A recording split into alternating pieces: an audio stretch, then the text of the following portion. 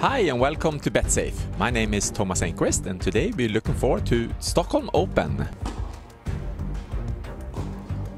And that's one of three 250 tournaments this week and the last 250 tournaments of the year. And Thomas, to play a 250 tournament after a Masters uh, in Shanghai, it's a tough challenge. Yes, it is a tough challenge. Of course, it's also a long trip. You have a tough jet lag coming in from China. You probably spend at least two, three weeks in China, so it is a tough one. But at the same time, it's the end of the of the year. It's the last stretch of the season. Everybody wants to finish off on the on, on a good note, and also, of course, the players who has a chance to reach the ATP final in London, of course, is extra motivated to do well, and every point counts now in the end of the season. So uh, I think a lot of players will be very motivated to come back, even if if the stretch to come back uh, uh, from a long trip like in Asia, it's, it's difficult. So it's uh, very even and uh, it's going to be a, a, very important tournament of course those three tournaments that are here but also uh, Bercy uh, Paris. That's uh, you know a lot of points. It's the last Masters Series 1000 event of the year. So that's where everything is going to be decided I think. Stockholm Open was played first time 1969 and between 1989 and 1994 it was one super series the same as today's Masters. And Thomas that's where, when you played your first Stockholm Open what do you remember from that Yes, it's true, and also, of course, I remember also when I was growing up as a young kid to go to Kungliga Tennishallen and watch Stockholm Open was uh, was uh, one of the highlights of the year, of course, when the ATP Tour came to, to, to, Stockholm. And but it's true that the first time I played in Stockholm myself, it was in the Globe Arena when they, we had this uh, Super Nine Master Series event. And unfortunately, I think for Swedish tennis and for Stockholm that uh, we don't have that category anymore. But still, uh, somehow we always find a very strong field, and uh, it's the same this year. We have a very good field at at Stockholm. Stockholm Open, and uh, it's one of those really uh, traditional old um, indoor tournaments. One of the most, uh, one of the oldest tournaments actually on the ATP tour. So it's a lot of, of, of nice traditions in, in Stockholm Open. And 1995, Stockholm Open moved back to Kungliga Tennishallen, and there we saw a young guy winning his first of three titles. Who was it?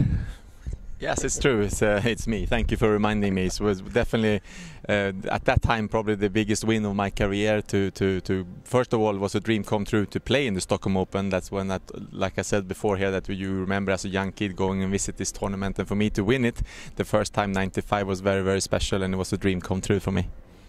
Can you say you play in Stockholm and in Sweden? It's in in front of the home crowd. Can you say how big advantage is it for a player to play at home? I think it, especially in the uh, later round, I think it's a big advantage. Sometimes you can feel also pressure in the beginning of the of the week because of course you don't want to lose early, and especially when you're coming in with a good ranking and you have a lot of pressure on you and you want to do well of course for yourself but also for you know family and friends and everybody who expect you to do well. So I always find it a little bit hard in the beginning of the tournament but if I get through the first couple of rounds of course with this support and and to play on the court that you grow up on and and uh, you know with the fans cheering you on of course it's, a, it's an, always an advantage to play on the home court. As Thomas said Stockholm Open often has a very strong field and so also this year with Juan Martin del Potro the title defender Grigor Dimitrov also former champion in Kungliga Tennishallen and US Open finalist Kevin Anderson. So what do you say about this year's field in Kungliga?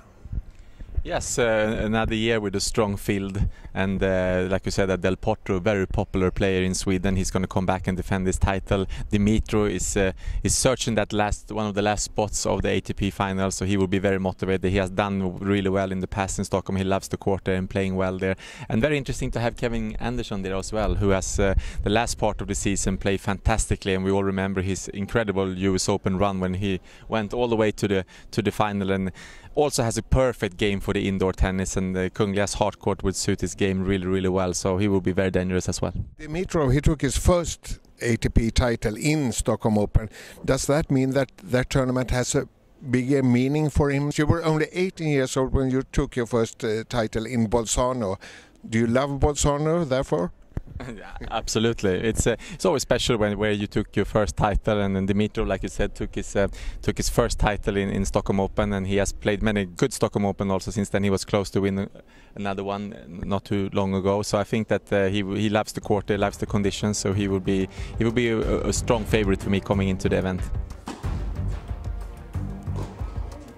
I will say that Dimitrov would be definitely one of the favorites. He loves the uh, court. He has won the tournament in the past, and he's also sh- chasing, chasing this uh, um, last spot, one of the last spots of the of the ATP Tour Finals in London. So he will be very motivated coming into this event. And then I think Kevin Anderson as well.